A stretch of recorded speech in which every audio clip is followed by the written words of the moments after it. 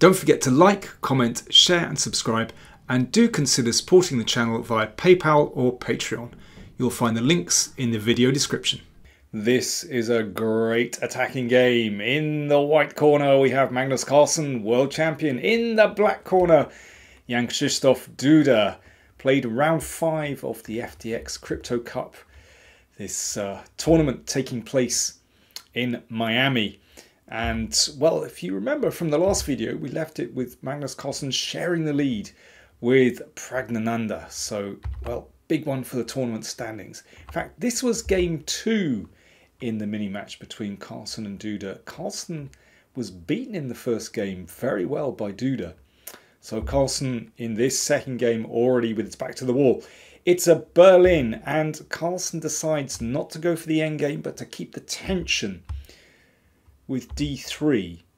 And Carlsen has a lot of experience playing with this pawn structure. This solid pawn structure prevents black making a breakthrough in the middle. This is such a strong structure. There's no there's no d pawn to, to hit out here. And that shell, that strong pawn shell, gives white freedom to play well, as we'll see, on the king side. Let's see how Carlsen did it. Normal move here is to play knight c4, but Carlsen dips the knight back to f1. and then here we go. He launches a kingside attack straight away. Now this kind of attack is not unknown with this particular structure, but this is at a very early stage in the game. So Carlsen playing so directly, that's very much his style. If he has a plan, he carries it through. Rook e8 played, and this is very normal. The rook steps over and makes room for the knight to dip back here. Knight e3, the knight pops out, and uh, looks like it could be heading here.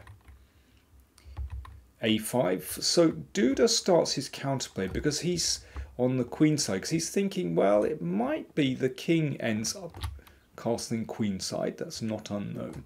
So it could be good to start a little pawn storm over here. Rook g1. Carlsen continues his kingside build-up. You know, you can get away with these moves when the centre is closed. You can see the king is actually quite safe behind those pawns for the moment. Knight f8, so this is the standard plan that Duda is carrying out. The knight can protect the king, but also might come into one of these squares to look at the outposts on d4 and f4. So this is absolutely normal. h4, there's no need for black to panic here. Because in fact, if you keep your pawns just on the second rank, it's very hard for, for white to make a, uh, an actual breakthrough. Even though, you know, this looks very impressive. But, you know, hang on. You know, how do you actually make the breakthrough for white? In the meantime, Duda continues to gain space on the queen side. You never know when could be useful to have those pawns stormed up the board, but basically black's position is sound. There's nothing wrong with it. Now, this is a clever move from Carlsen, bishop g5. You don't really want to put the queen on d7, not a very nice square. Blocks the bishop, then queen d2, yeah, then followed by h5. Yeah, this, this could be a little bit annoying with the bishop perhaps able to come in on the dark squares.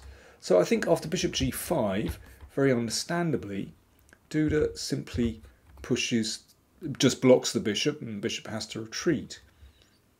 Then again, white now has something to bite on on the king side. Now, uh, Carlsen plays to my eyes, a slightly unusual move, bishop d2. As we'll see, he wants to use that bishop on the long diagonal. Uh, and it is extremely dangerous. I mean, for me, bishop e3 is a more practical move because this bishop on c5 is a strong piece. And the bishop has certainly performed a useful role on g5 by just inducing this pawn move f6, which means white has something to bite on.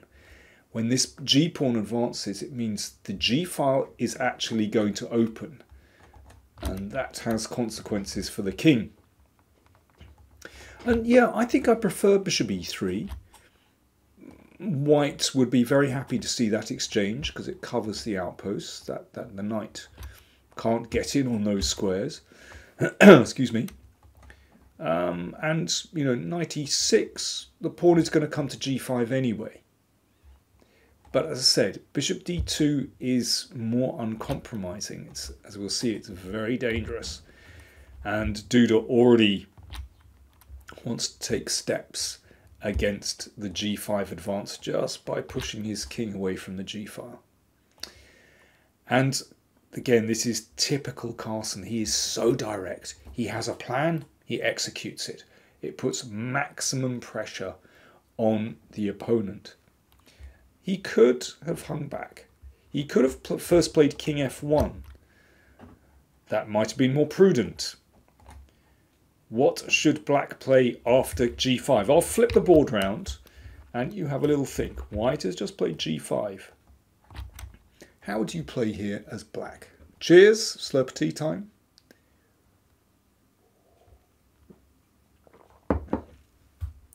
Well, Duda played bishop takes knight, it's nice to get rid of that powerful knight on f5.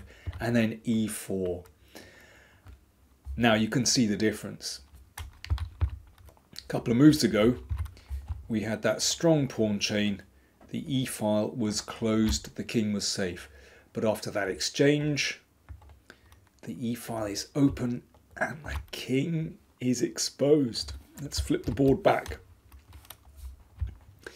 This is the problem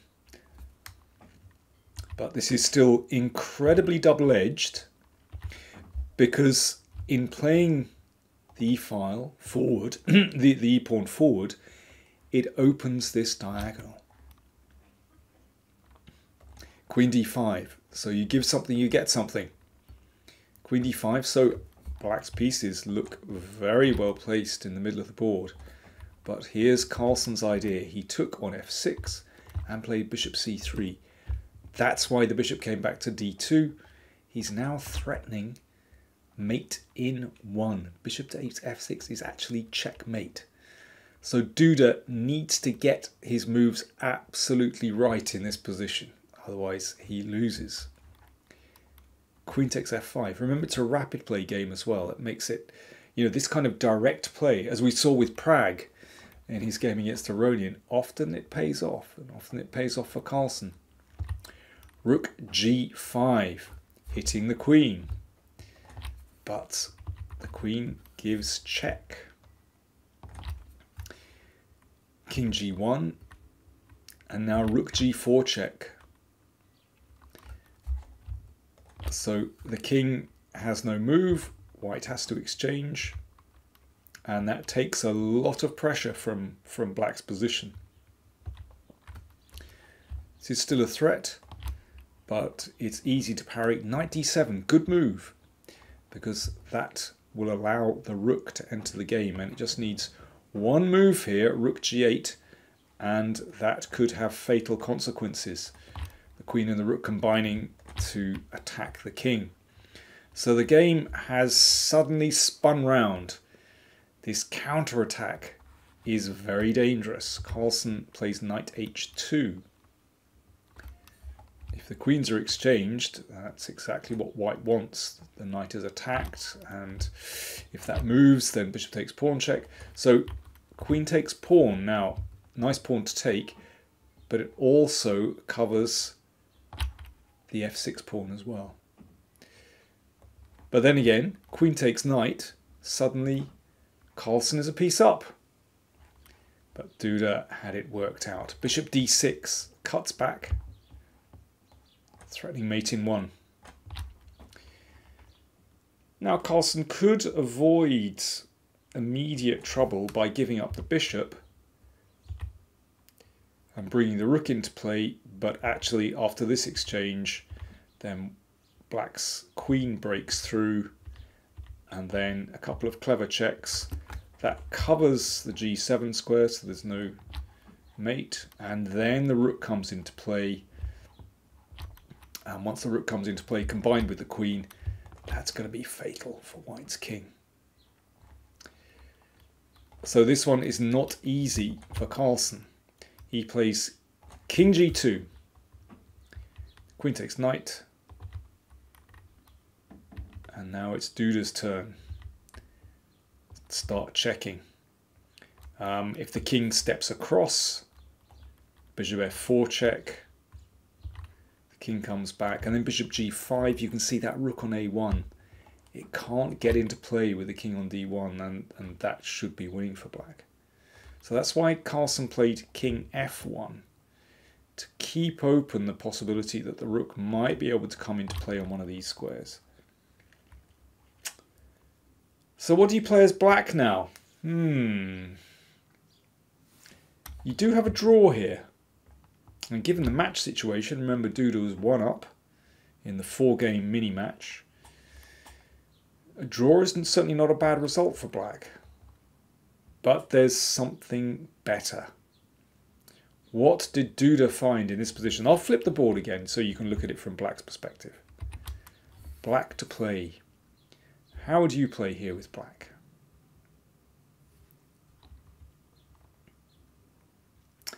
The move here, it's very, very nice move, queen c4 check. I'll flip the board back. Now, if the king steps to the g file, that's easy. The rook comes into play. This is the key point in the position. Who can bring their rook into play? Well, this one is absolutely fatal for the king in combination with these pieces. So after queen c4 check, Carlsen played king e1. Now, this is still a big threat. So rook f8, that's pretty calm. But, but with the king of the back rank, of course, the rook can't get into the game. But rook d1, okay, this is still tricky. How do you deal with this? If that rook gets into the game on perhaps one of these squares, it starts to be very difficult again.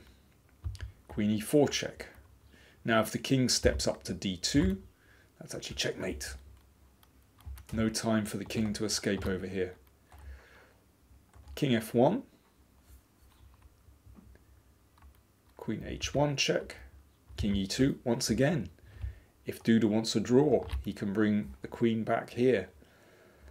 But after his next move, Carlsen resigned. What is the next move? Queen h5 check.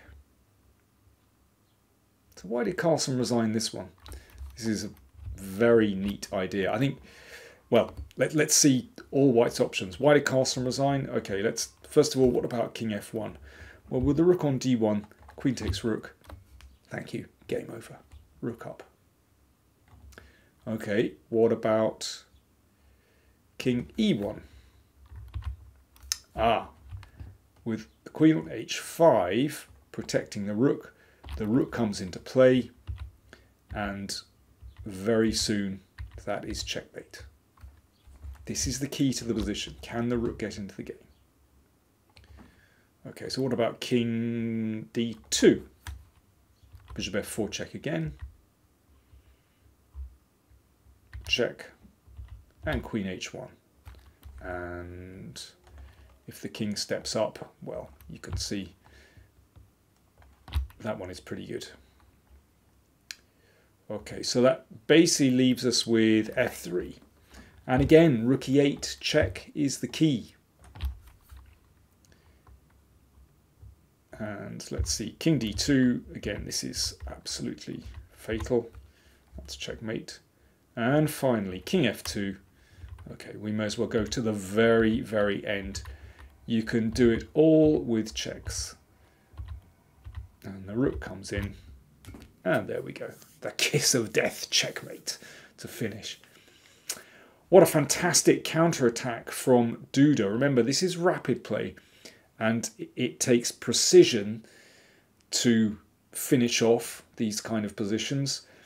But precision always takes time. And when you're playing against the clock, that is real pressure. But the key moves in that counter-attack, um, queen c4 check. This is a very nice step. And then a couple of moves later on. the fatal move, queen h5 check. Very nicely played by Duda. Um, in fact, uh, Duda kind of messed up in this match. He was 2 0 up, but Carlsen hit back with two wins, so they went to a tiebreak, which Duda actually won. But it meant that means with their scoring system, instead of a 3 0 match victory, he scored a 2 1 match victory, uh, which meant that so Carlsen got one point, uh, which did help him because Pragg actually lost his match against Le. So Carlsen is still in the lead, a slender lead, so all still to play for, two matches to go. Um, I thought it was a very interesting game. You know, Carlsen played in his very direct way, a bit too direct. Often it, it pays off. Um, but I, it's Bishop g5 was very good, but it's that move Bishop d2. Bishop e3 just feels more natural to me. But then again, like I said, sometimes Carlsen gambles and so often it pays off, but not in this case. Uh, I'll be reporting back and I'll let you know what happens in the FTX Crypto Cup. Thanks for watching.